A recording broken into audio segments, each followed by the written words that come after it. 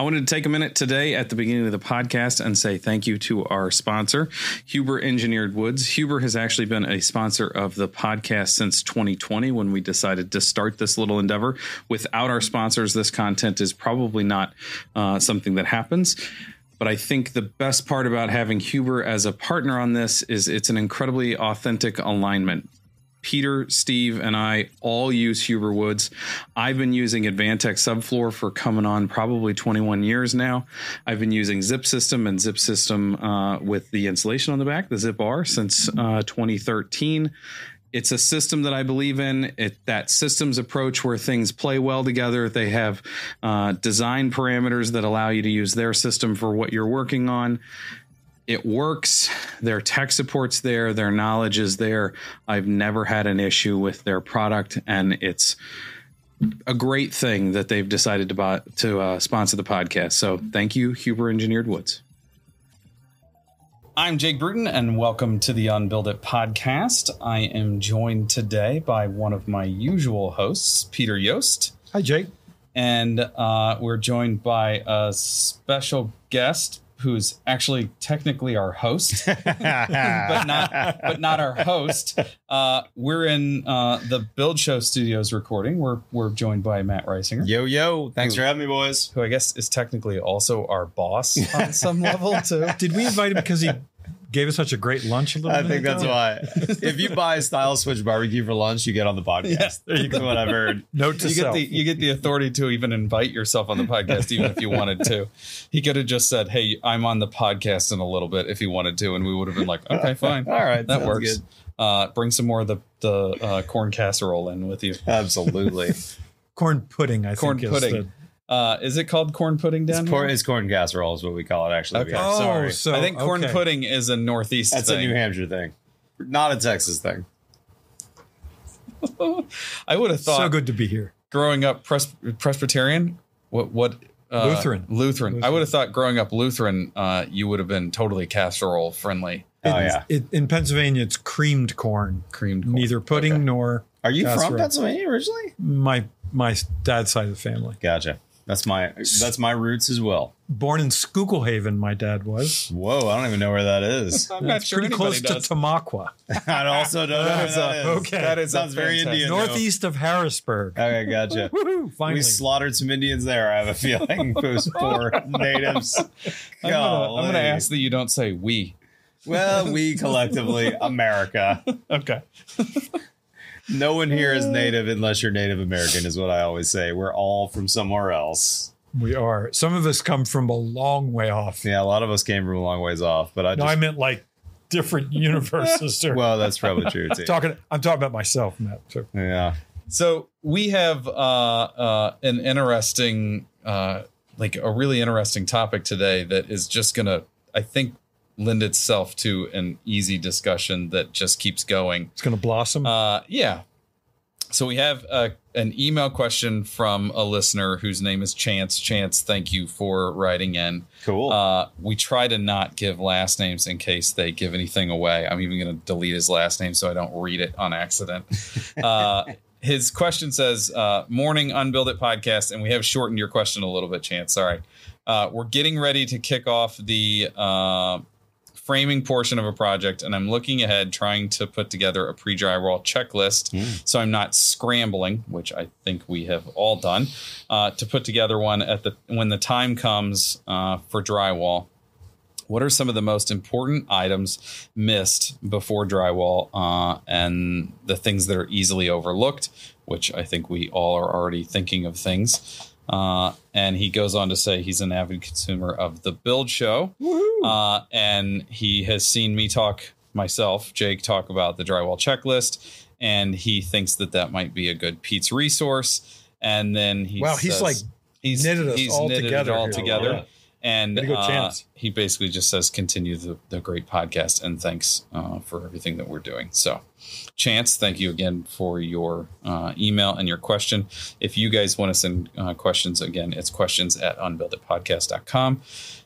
These are fantastic for us because they're a great lead in because these are great topic ideas. And this is a fantastic one because I waited way too long in my career to make an actual list to keep me from screwing stuff up.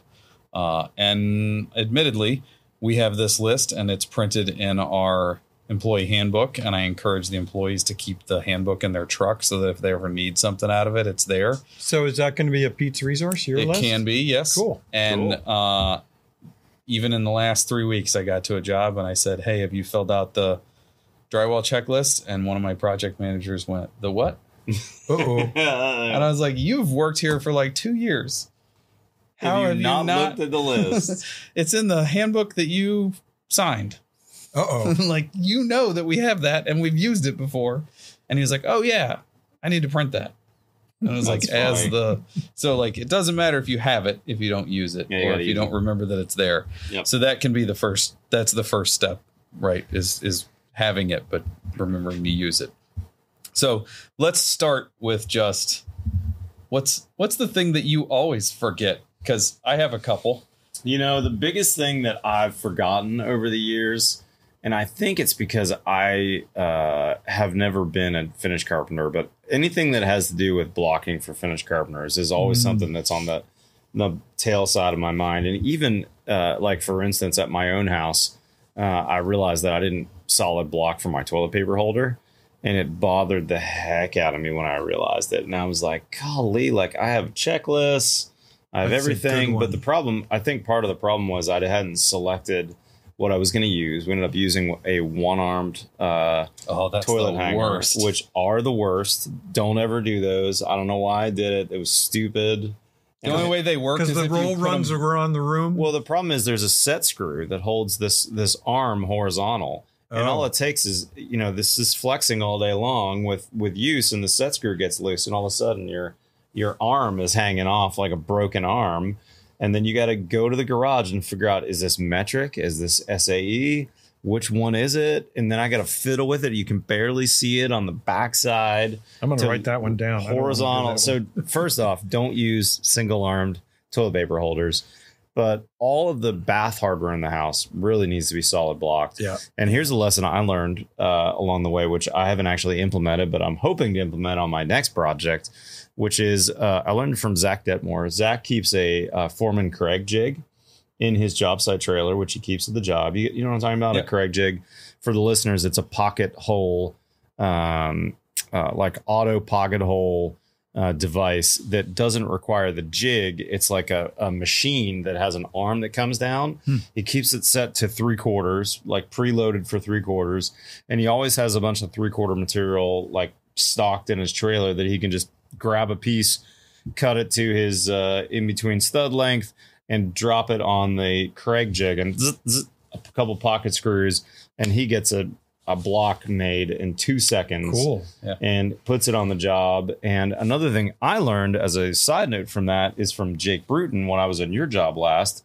I don't think we've even published this video yet, but Jake on a lot of your shower walls is solid sheathing with a piece of leftover Advantech. Uh, his entire shower wall so that you can put a It's like a Yeah, nail, you'll- like a you'll nail like- base. Peter will like this. so that when you get older and need a grab bar in the shower, Peter, someday you'll get I was older. Going immediately. Peter, someday you'll be older and you'll need this. Note to He's self. not there yet.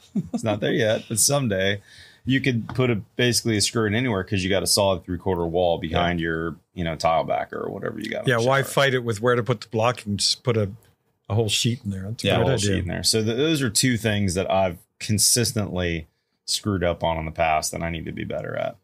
I will say that when we made the jump from 16 on center to 24 on center, it took one house for my cabinet guy to go, We're not doing this again. We are absolutely not mounting cabinets to 24 on center walls. Yeah, that's he was like, Either you go back to framing 16 on center or you provide me blocking, Blocking. that's centered at Mhm. 34 off the floor and at whatever our cabinet upper is going to So be. So wherever he puts a screw, you're good. Yep. So then I don't have to hunt for anything. So that was number one. And Yeah. that was like immediate. Like literally, we did one job and he like walked up to me before they were even done mounting cabinets. And he was like, no way.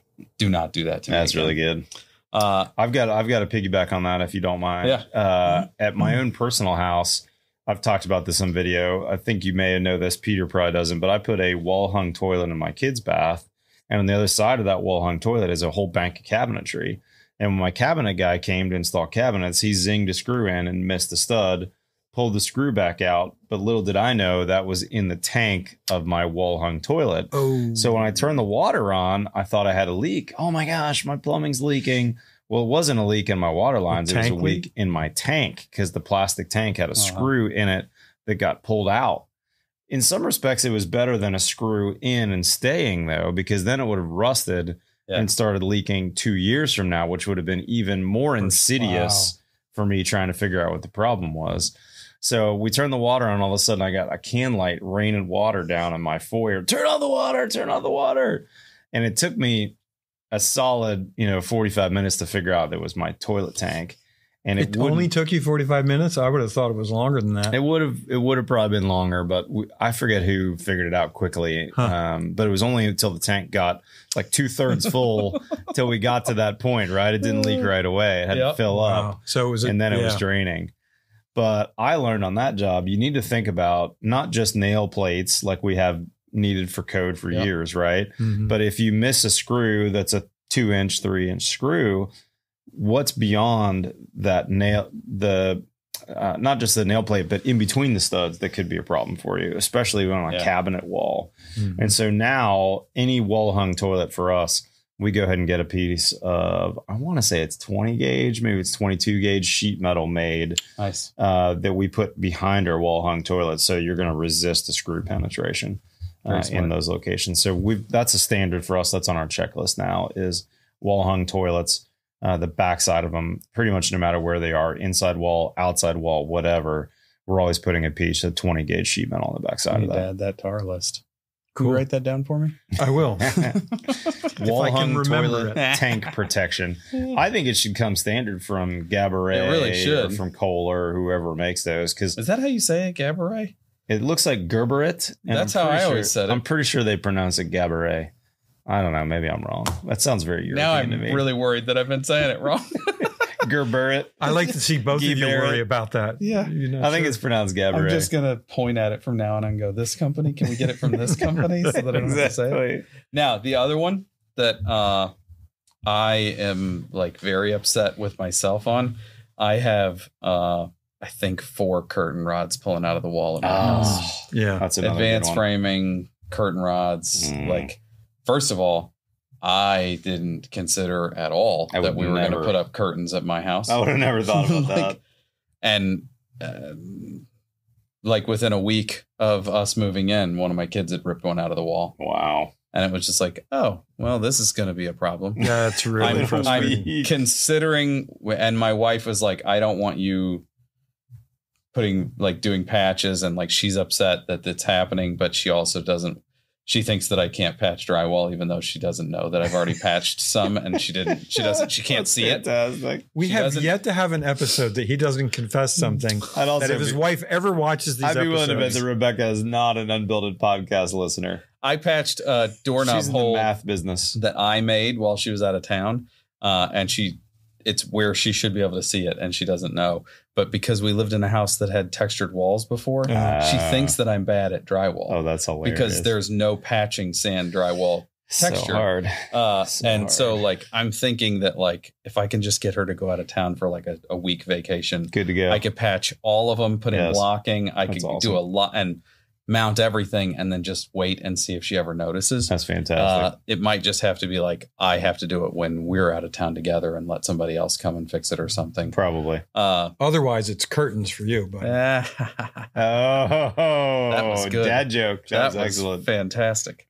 Uh, but those are the those are the the big ones for me. The curtains thing at my personal house has actually changed the way that we're doing it. How do you fix that though? I mean, that's not. I mean, uh, when it comes to window coverings, there's so many options: outside Yeah. mount, inside mount. Like, how do you?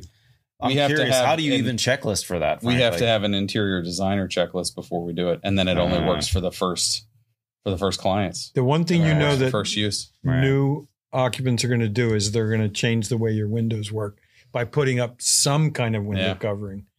I mean, the best thing is you put in pockets, and Hmm, you know, then you have to think about and it. And then everything happens up inside there. But I mean, that's a Pockets are so expensive- expensive, That's an man. expensive we're we're doing on a job right now, and I swear it's tens of thousands of dollars to get pockets done and correct. Yeah. By the time you pay the finish carpenter, by the time you get the trusses correct, all that stuff. It is just the most expensive detail. You better really want those. Cool, though. pockets. It it's really super cool. no doubt about it. Well, Peter and I recorded a video today on uh, a kind of a short video on what builders need to know about mold. Peter had five great, very concise points on mold for builders. Go check out that video in the future if if uh, the timing works in right. the past. But one thing that Peter said that I thought was really smart was uh, it's not that you can't build a modern house uh, mold free. It's that you just need everything to be very uh, top of the line when it comes to WRB, flashings, parapets, subs, materials. Everything's got to be top notch, and you got to spend the money for a top notch builder, for a top notch everything, envelope consultant to get it right when you have very little forgiveness built into the house. So that kind of is an interesting Yeah. side note to what you're talking about, which is, you know, checklists and pockets. The more modern the house, the less things you have to hide, the more you got to think about it, right? And and your house is I would consider if not modern, at least transitional. My house I kind of think of as being on the traditional side of transitional, a little more traditional than a little more modern, but but not really a traditional house either, if that makes sense. No, I don't think it does. No, No, I've, I've seen I think this you house. got I- lost I in I think got lost. nomenclature. Okay, maybe I did. My point is though, like I have crown molding at my house in a bunch of places. Yeah. Oh, So I've got things that could be hidden, whereas you don't as much. Yeah, you don't have a lot I of don't. trim. Like your staircase is just a freestanding metal staircase. I've got, you know, skirt boards and other things to hide, Yeah. uh, which means the more trim you have, the more ability you have to hide the lack of blocking, let's say, or whatever. Now, when you have less trim, there's less forgiveness in the house Mhm. which means your framing needs to be absolutely perfect. Yeah. That's when we start telling people, look, you got to go to LSLs on this house. Yeah. There's raking light coming from these walls. We can't just use regular two by fours. We need the really expensive two by fours. Mm. Everything just gets exponentially more expensive. I thought this conversation was going to go towards more to like the building science checklist, and I was I'm working on a project right now where we were discussing whether to use aero barrier open cavity or to do it after the drywall goes up. Oh, that's a fascinating. and it was all about well, what what needs to get done before we put that up. And the my two perspectives are the way that the aero barrier sealant adheres to framing and sheathing, structural sheathing, and whatever's penetrating is very different than what happens at the drywall. And my concern is that the drywall, since it's made out of dust, it's a bond break for the sealant. So if there's a Uh, bunch of dust around all the cutout outlets and stuff and light switches, that the sealant's not going to adhere in a durable way because of that dust.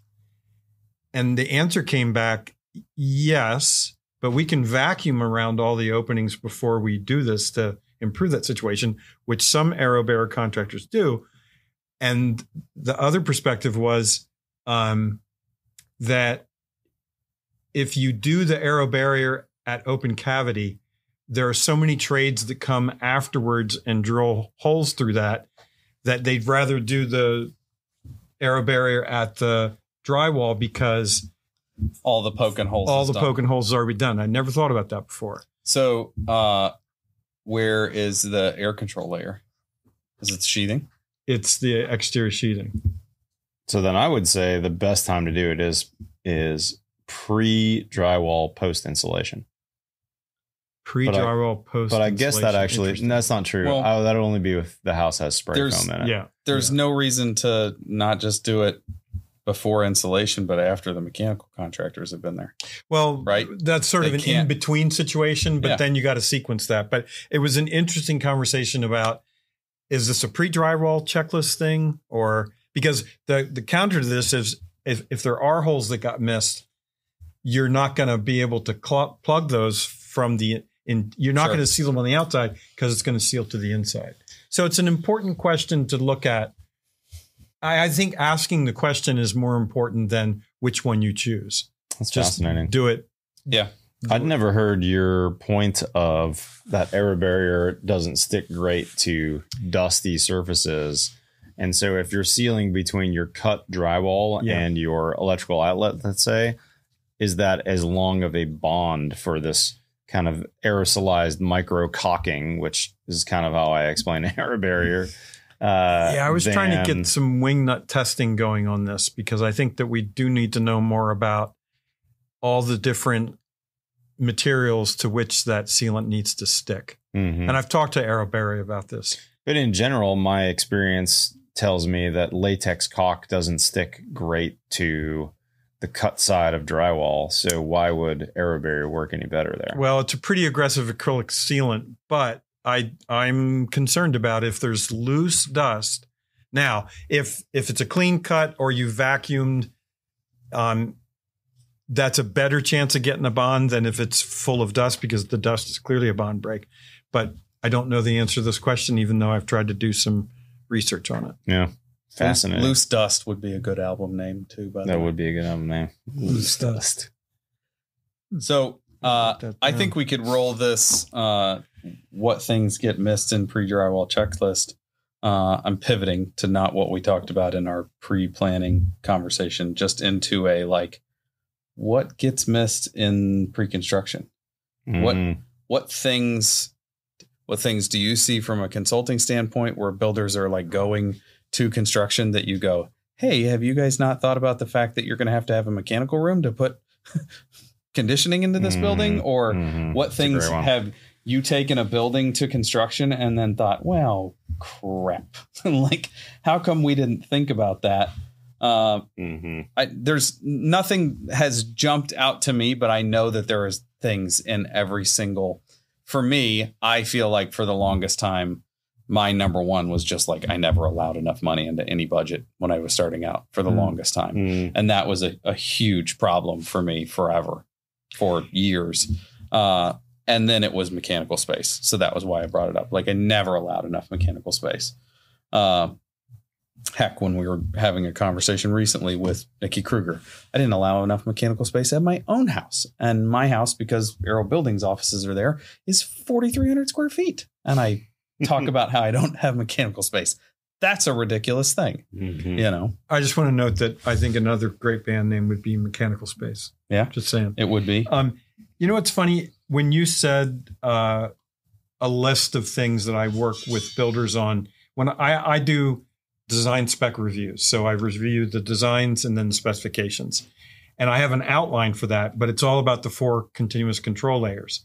So it's a way of going through. And I when I when they ask me if I, I will do a design spec review for them, I say, here's exactly how I'm going to do it. This is my list. If you have other things you want to add to that list, that's great. But this is what I use to get continuous four control layers. And on that list, I have other things not related to the enclosure. But the very first words out of your mouth were sizing of the mechanical closet. And I'm, I'm going to add that to the list when I go home tonight because that's a great one. But I'm so wrapped up in the enclosure.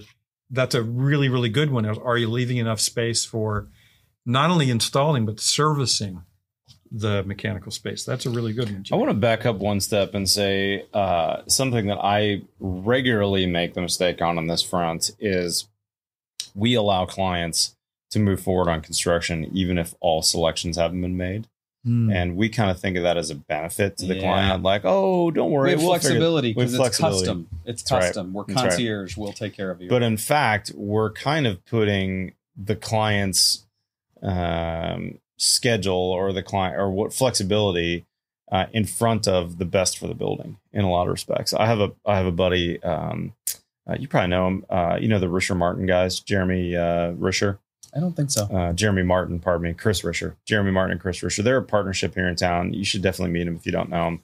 They're a fixed price builder uh, who doesn't let anything go to construction without full job specs, full everything selected. Luke Mesger is a lot like this, where he Okay. won't he won't start construction unless he knows the paint colors in the house. Wow. Uh, so he's very, very detailed on that. And we're always like, oh, you need more flexibility. Well, at my house uh, under construction, um, I didn't I didn't figure out what I was doing for low voltage until it was like time to install low voltage, right? And the problem with that was I drilled my low voltage guy drilled a bunch of holes Hmm. that I didn't know were happening from the inside to the outside. Aero barrier showed me, oh shoot, I missed like four or five of these holes that got drilled Yep. later, and aero barrier fixed it, fixed it for me, quote unquote. But it just reminded me like I should have thought of that stuff ahead of time, thought about where it was running, had a specific conversation with him like I want a camera here, I want this wireless access Yeah. point, I want this this and this. And and I did and we do that to our clients under the guise of flexibility, but in the long run, we're hurting ourselves and we're hurting the building by not pre-planning uh, you know, all of our mechanical, electrical, plumbing, and low voltage. Uh, not only just where are they going, but even the spec on those. Because when we pre-plan those and we know before the start of construction, like here's the Kohler electronic shower valve I'm doing, then we can think about okay, I want I need access to that valve later. I need to figure out an access panel. So let's make sure we don't design the closet in a way that doesn't allow me to put an access panel uh, into the closet to get in there so that I could fiddle with this, change these parts, whatever. Uh, I'm trying to to do things in my houses more and more, thinking, okay, if my if my kids take over the business and they remodel this house, how can I be smart so they can remodel it easily in 25 years, or or change whatever part needs changed in 25 years. So I want to try and as much as possible have access to um, any joint in the plumbing, any shower valve, any whatever and I think that's a whole frontier that that I'm way behind on. and I need to do a lot of work on. You know, it makes me think of uh, there's a book by I think it's Lindsay Haas Davenport called the uh, Scopes of Work program. Have we talked about this before? no. um, and her she has a a system for temporally sequenced trade contractors and um, her whole mantra is um, the contractor who comes next has to sign off on Mm, the contractor that went before. So so she has a uh a before you start your work document that you have to sign and when you end your work you have to sign and it's through the entire construction sequence of the house and she said what this means is that you can't go back and say oh no that wasn't that wasn't those conditions weren't present there when I started because her theory is no if you signed off on that for your buddy's work you you now own that. Mhm. Um, and in the beginning of the book, she says you're going to have to fire at least one trade contractor, and you're going to have to fire at least one job site superintendent because they're not going to want to do it. And she says there's only one way to do this: you either do the program with the pre and post checklist, or you don't. Well, for Building America, we took six of the high performance trades because what she didn't have woven into that was performance testing. So Steve and Nathan and I with Duncan Prahl at IBACOS did this, but that might be interesting for you guys to look at that you that you basically connect the work of one subcontractor to the other to get consistency of work and make sure that stuff doesn't get missed in the as part of the pre-drywall checklist. interesting. I think that what we do is so incredibly complex. And maybe this is me feeling pompous and just telling ourselves that what we do is complex. Neither one of us jumped on that. Like, yeah, we should totally do that, Uh, Peter. that no, no, I'm I'm shifting here. okay. Uh, thousands of parts with dozens or hundreds of people and team members, sometimes not speaking the same language and not understanding what the other people are on the site doing and doing it outside and the elements and like it's I don't think that we ever get to a point where everything just goes smoothly and according to plan. Mhm. I think the best that we can hope for is that things go simply and that that there aren't major headaches and that um and I'm not trying to sound defeatist here. I'm trying to sound r- realistic here. Mhm. Uh, I've been on very well run job sites. Um, the modern build that Jackson Andrews guys had going. But that really well run job site had a project manager and two assistants and a team of carpenters at it for years. Like that, there's a difference between that and the thing that I get to do for my clients Right. where it's just like, yeah, we can resolve a lot of these problems. A lot of these problems are resolved by manpower or team members and money. Hmm And a lot of what we get to do as an industry doesn't have those kinds of budgets. Yeah. Uh, And, and I have to say that her scopes of work program is targeted towards production home builders. Mm. Customs a different Yeah. whole situation. But maybe if you took a look at it, you might find things within that that Yeah. you could drop in. But the systems, like Yeah. you're talking about, are the things that have made us miss less things over the years. hmm Even when I talked earlier about like one of my biggest problems in getting better was figuring out how to bid things more accurately, where I didn't feel like in the end we were hurt on budget because I didn't allow enough money on budget. Uh, now that we're to a point where it was like it just it took me a long time to figure out like the more line items I put in the budget instead of HVAC, one of them is heating and cooling, one of them is ventilation, one of them is bath fans, one of them is dehumidifier. Right. As soon as you break that into five line items instead of one line item, that line item now costs 20% more. hmm That 20% more is the actual cost that it should cost instead of the 20% less that you thought it might cost. Yep. Like those little things, the second you add the detail into the proposal, now the proposal is more accurate. It took me forever to realize that that was my problem and that hmm. I needed to take the time.